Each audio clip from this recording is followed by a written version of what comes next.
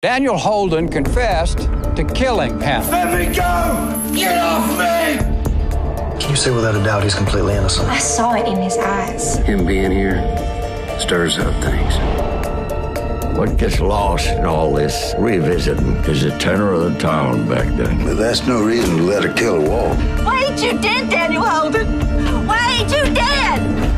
Rectify هذا الشهر على ساندنس شانل